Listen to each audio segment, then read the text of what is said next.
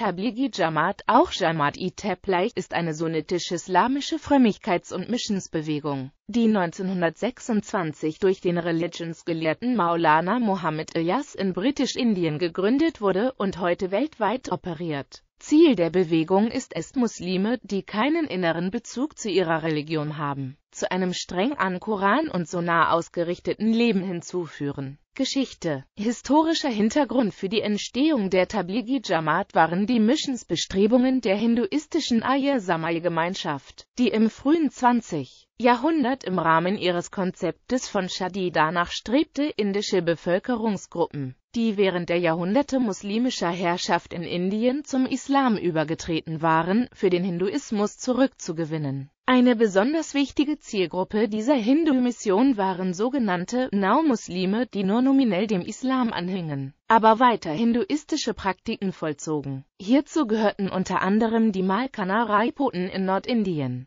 bis zum Jahre 1927 gelang es der Arya-Samaj-Gemeinschaft etwa 163.000 Malkanas zum Hinduismus zu bekehren. Kahawaya Hassan Nizami, ein muslimischer Gelehrter, der sich in Delhi als Journalist und Autor betätigte, rief vor diesem Hintergrund 1923 in einem Buch mit dem Titel Da'i Islam seine Glaubensbrüder zur Abwehr der hinduistischen Missionsbemühungen auf und forderte, dass sich zu diesem Zweck jeder eine einzelne Muslim als Da'i betätigen müsse. Das Buch war unter den nordindischen Muslimen ungeheuer populär und erlebte bis zum Jahre 1926 fünf Auflagen. Als Mittel für die Verkündigung des Islams empfahl Nizami, der dem Chishtiya-Orden angehörte, auch Sufi-Praktiken wie Kawali-Gesänge sowie Tazia-Prozessionen. Während Nizami selbst nur publizistisch tätig war, setzte ein anderer muslimischer Gelehrter, Mohammed Ilyas, seine Forderungen in die Tat um. Im Gegensatz zu Nizami gehörte er allerdings einer islamischen Strömung an, die die sufischen Traditionen ablehnte. Mohammed Ilyas war durch seine Familie eng mit der Deobandi-Bewegung verbunden, die 1867 Dekasekunden Darul Ulum von Deoband ins Leben gerufen hatte, und pflegte insbesondere Beziehungen zur Führung des Mazahir el-Ulum, einer Schwesterschule des Darul Ulum in Saharanpur. Nach Rückkehr von einer Wallfahrt nach Mekka begann Mohammed Ilyas im Jahre 1926 mit Missionsaktivitäten unter den MIOS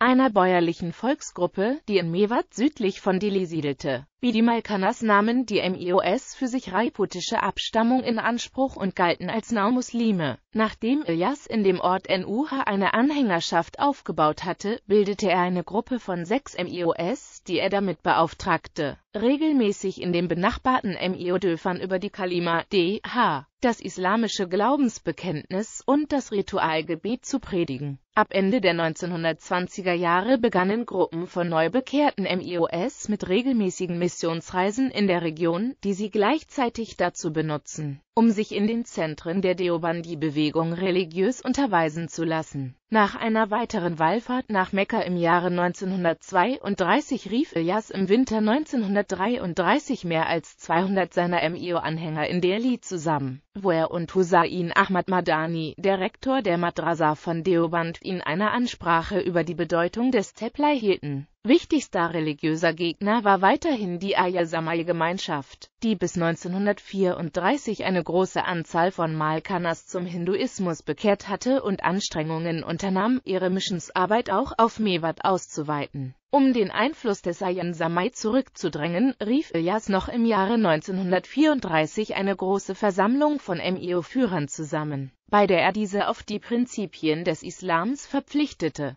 bis zu seinem Tode im Jahre 1944 gelang es Ilyas, seine Glaubensbewegung fest in der MIO-Gesellschaft zu verankern. Bei einer Versammlung der Bewegung in NUH im November 1941 nahmen ungefähr 25.000 MIOs teil, darunter mehrere bekannte Ulama. Nach dem Tode von Mohammed Ilyas wurde sein Sohn Mawlana Yusuf von den Ältesten der TJ zum neuen Amir der Gemeinschaft gewählt er war ein begabter Organisator und weitete bis zu seinem Tode im Jahre 1965 Dekasekunden Operationsgebiet der TJ auf die gesamte islamische Welt aus. Als unpolitische Bewegung konnte sie sich in den 1950er und 1960er Jahren durch ihre Missionare über die arabischen Länder, das subsaharische Afrika Südostasien, die Türkei und Westeuropa verbreiten. In den frühen 1970er Jahren gründete die TJ eigene Madrasas und religiöse Zentren auch in den malaiischen Staaten Kelantan und Terengganu. Religiöse Ausrichtung und Organisationsstruktur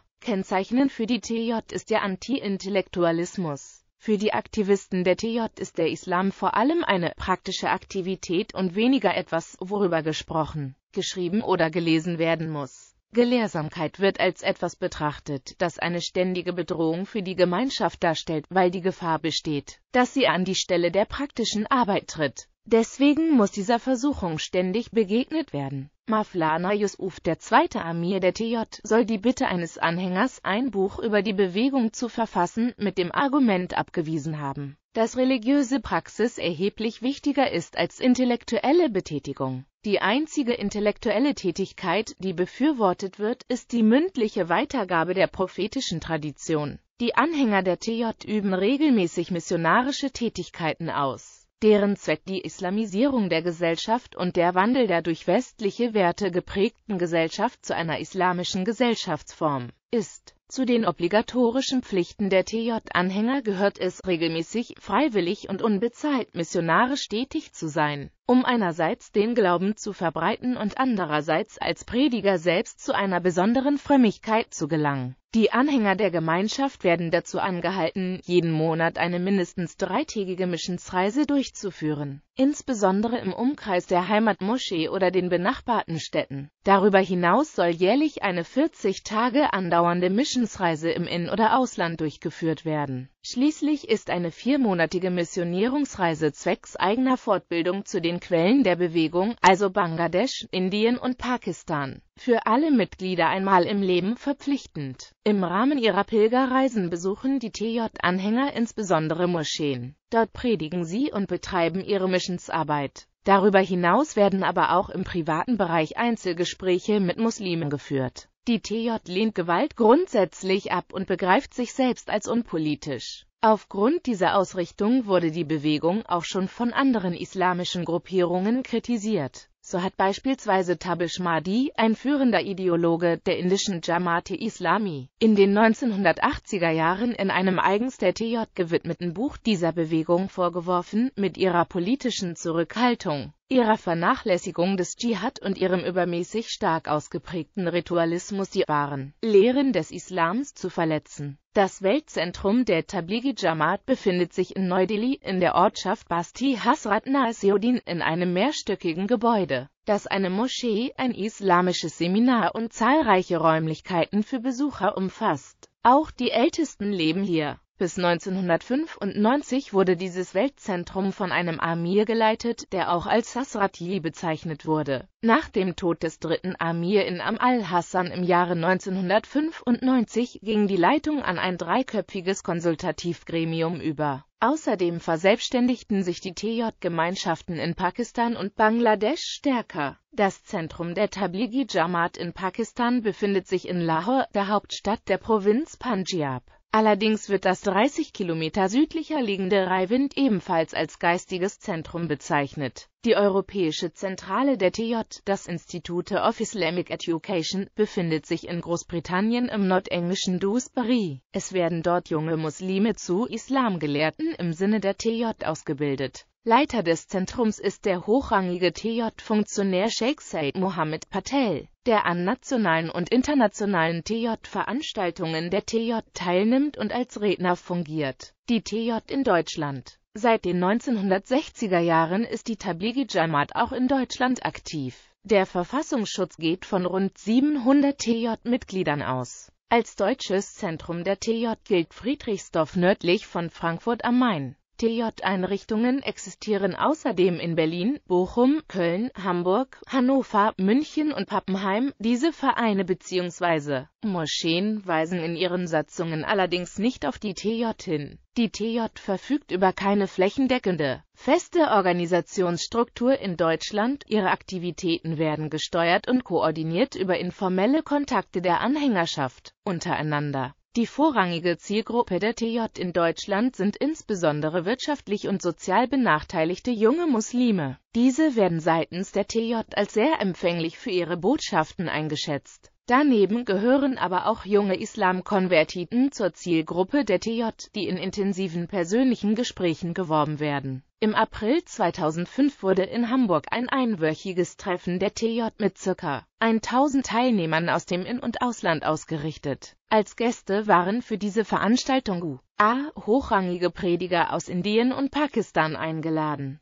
der Bundesverfassungsschutz sieht laut seines Berichtes von 2006 die Gefahr gegeben, dass die TJ aufgrund ihres strengen Islamverständnisses und der weltweiten Missionstätigkeit islamistische Radikalisierungsprozesse fördert. Demnach existieren belegte Einzelfälle, bei denen die Infrastruktur der Missionsbewegung von Mitgliedern terroristischer Vereinigungen zu Reisezwecken genutzt wurde. Siehe auch Mohammed Abd al-Wahhab